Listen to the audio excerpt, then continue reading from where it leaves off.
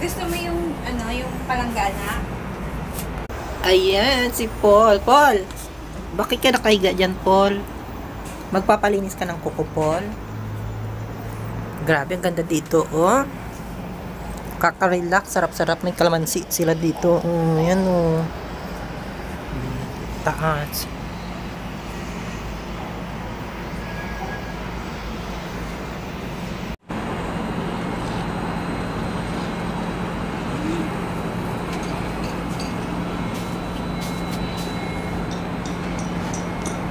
Ah, ilan naman ang gasto?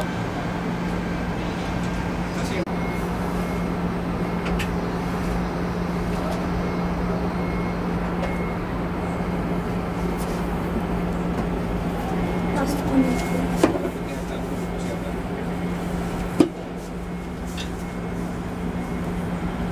you.